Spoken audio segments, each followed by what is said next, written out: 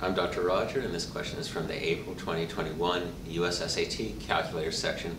College Board gives us a bar graph and asks for the, how many more are classified as medium, large, or very large than are classified as very small or small.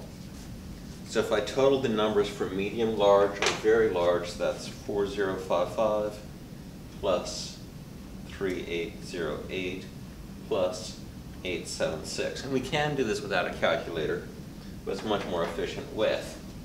And that is 8739.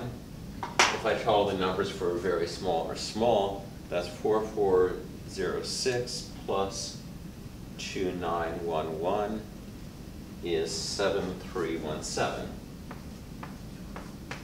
And I'm going to subtract 7317 from 8739. And I get 1422.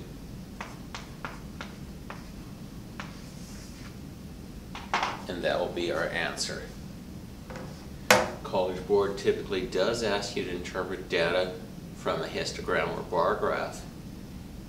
But in this case, it's very easy to do. We just need to group our categories correctly and answer their question, which was how many more medium large or very large than very small or small.